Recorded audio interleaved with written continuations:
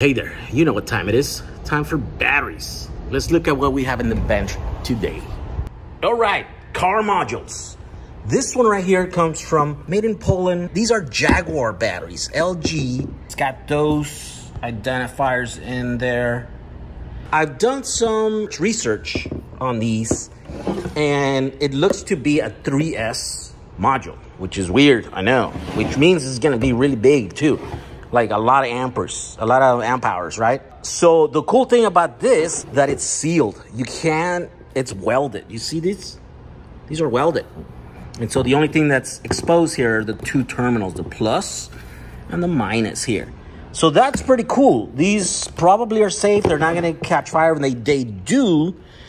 Well, they're encased in this uh, thing. Hopefully they have uh, some way of venting so that it doesn't blow up. So that's cool. You, there's no way that you can mess with these and damage them, right? The bad thing is that, well, if one of these cells gets damaged, well, then you can't refix it. It's the whole module or nothing.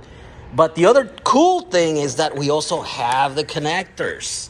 I think we have a connector for every one module. We got a pallet of this one in today, and we're getting another pallet later today. So they're gonna have about almost 300 of these modules available. Um, and so what I've done is I charged it all the way through. Now we're going to discharge it up. Yeah, and by the way, I figure out the pinout here. Uh, there are mirror. There are two kinds of these modules. I guess they would mirror. So one is the, the white connector. The other one is the black connector. But this one right here, the white connector is the one that works. Boom. Three cells. There should only be like four cables that are actually usable the other ones are probably temperature sensors. So they're identified by this little thing, right? So you'll be able to see what they are.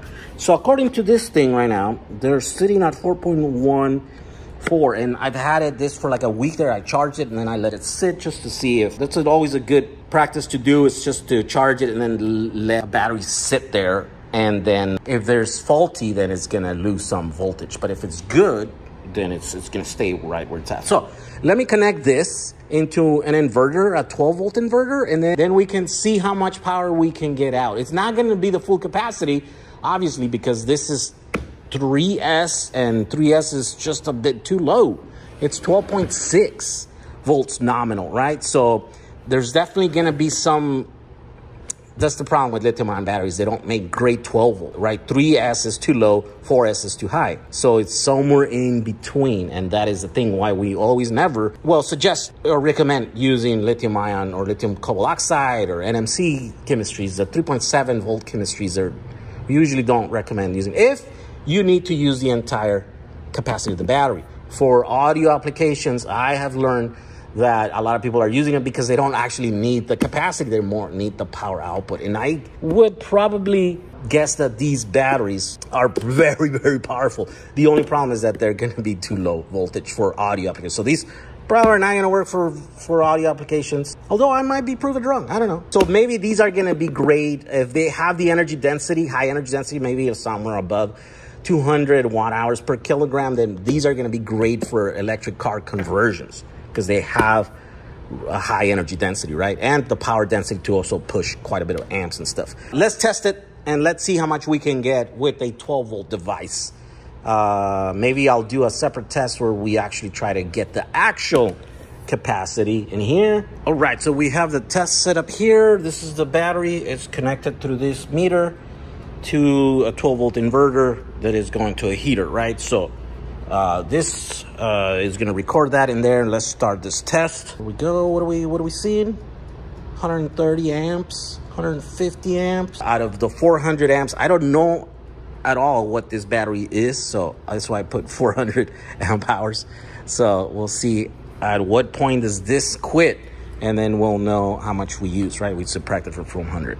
Okay, this following test here took forever. This is over two hours, and so the phone ran out of battery uh, and then I couldn't really uh, export the video. So all I did here what you're watching is you're looking at um, still images right? So every 10 minutes. And so you can see that we started with 400 amp hours. We're at 297 right now.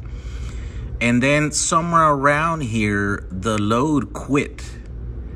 Uh, and you see there's only 3.25, 3.6 amps.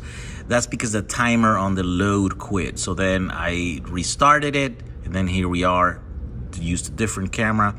And here we are. Here's the final number 204 out of total of 400. So about 200 amp hours you're able to remove using just a regular 12 volt uh, inverter. All right, after further investigation, these modules turn out to be 2.6 kilowatt hours or 236 amp hours. So, but just regular inverters, 12 volt inverters that you can buy off the shelf and stuff. Nothing special, that nothing that's like high end that you can adjust the voltage.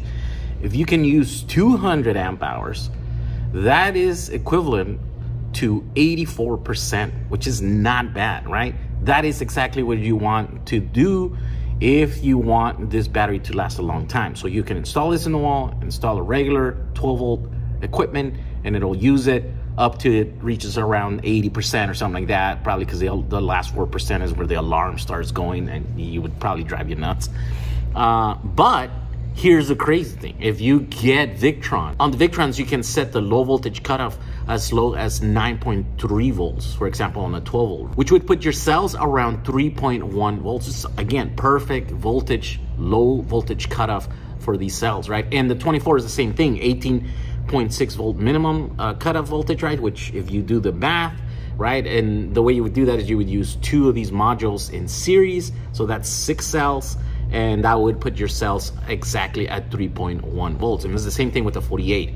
The minimum cutoff uh, voltage is 37.2. Also putting your cells at 3.1 volt was perfect low voltage cutoff. All right, next, BMS. Now, luckily our supplier is giving us these modules with the wiring harness. So we have the connectors, but in case you were missing one or in case we didn't, we don't have them or whatever, uh, or they're damaged for any reason, uh, we have the technical data here. The mating connector is TE 1746872-1, and that is available at Mouser. So here is what the connector looks like, and here is the wiring diagram. I know it says right there, shows you the pins, but it's kind of weird to see. So here's in graphical form, I went and traced it all out, and this is how you connect cell number one, cell number two, cell number three.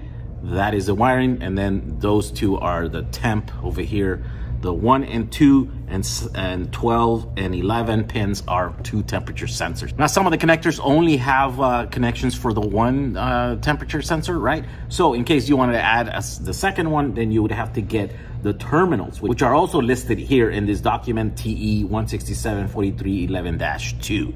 All right, so the last thing for me to show you is how easy these mount in the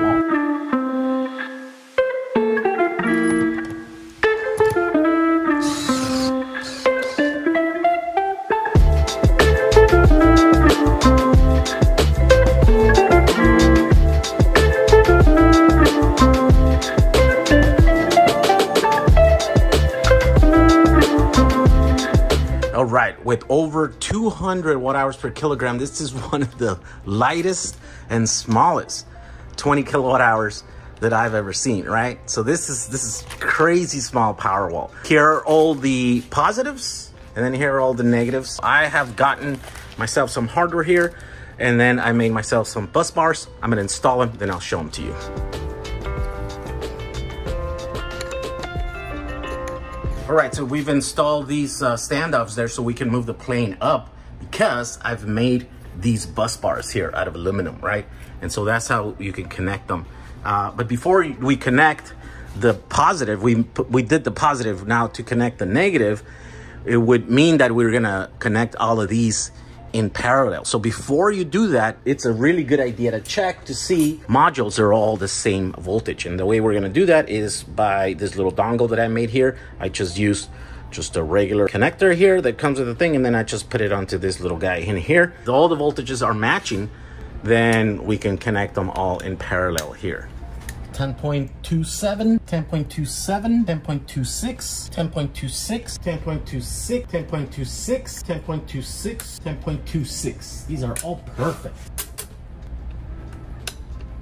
All right, so here we go. Now these are connected. These are all in parallel. This is one giant 10 kilowatt hour 12 volt battery and then this is another one now if i wanted to run 24 volts all i have to do is connect uh, this one negative to the positive and now this is my main po- negative and my main positive and now it's 24 volts and you have 20 kilowatt hour uh, battery pack right here. Now if you wanted to do 48 uh, you can add two more of these in here and then just connect them like that. Uh, also you could just take uh, break these into smaller uh, parallel packs, right? So connect two in parallel and then connect the other two in parallel, then connect those in series.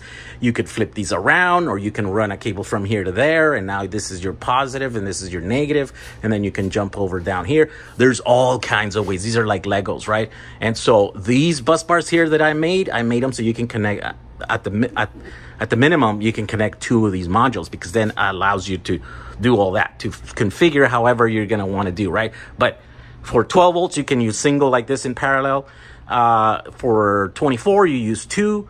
Uh, I guess you could run this at 36 too, but nobody's going to want to do that. But 48, you would run four groups of, uh, I mean, either four in series or four groups of these in series. And you can go as big as you want, right? So because I ordered a bunch of these and I don't really need them, if you buy these, I'll include two of these uh, with every module that you that we sell here, right? So there you go.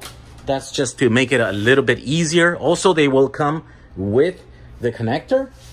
Uh, and the connector, you can use it again i showed you earlier how to connect that in there and maybe later because these will i will probably be getting more of these i will show you how to do the full bms connection on these guys so there you go.